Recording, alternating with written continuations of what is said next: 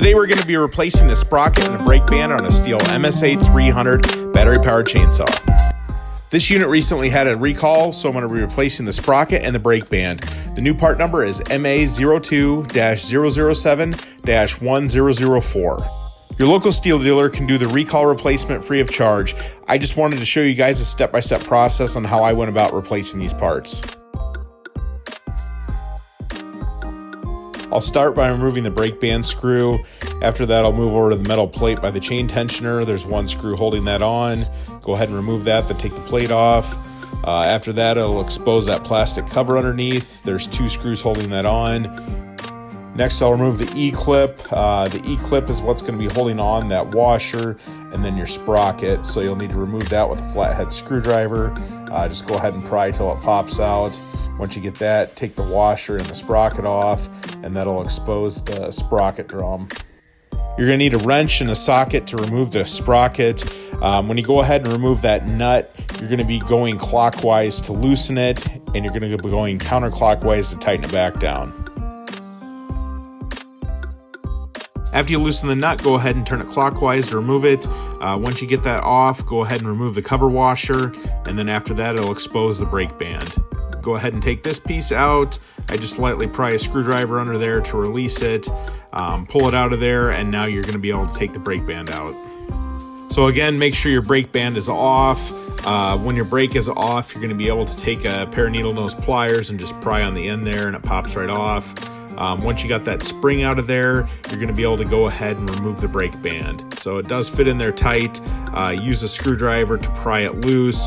Um, you're just going to go around these little studs and work it off until it comes all the way out. Once you get that, just go ahead and pull it off that other part right there. So the same way you took everything off, go ahead and reinstall everything in the same manner. Um, put the brake band in there, just work it around those studs.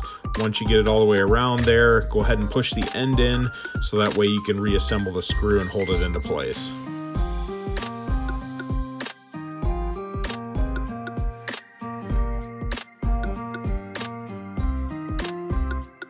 So it does take a little bit of work. Uh, you're going to have to move that brake band and then you're going to have to push it in and then you're going to have to wiggle a little more.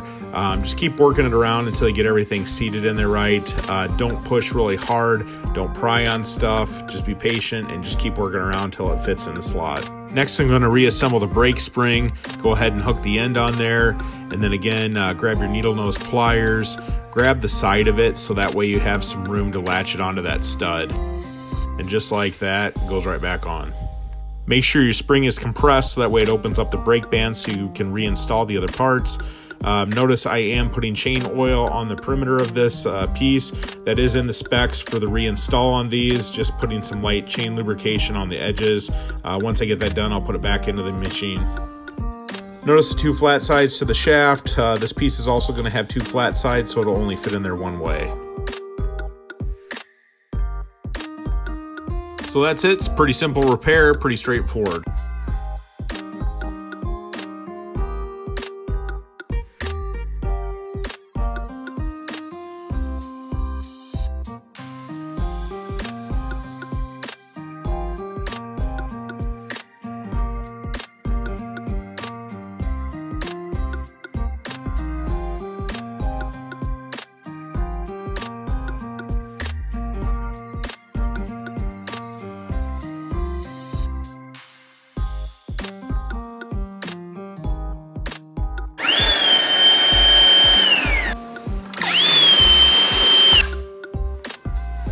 Easy and straightforward repair. I actually did three of the saws the same day.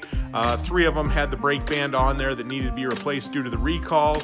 Um, after I got the first one down and figured out how to remove some of the parts, uh, it took about 10-15 minutes on the other one, so pretty smooth process. So if you guys found this video useful and uh, you like the content I'm creating, make sure you like this video and also subscribe to my YouTube channel.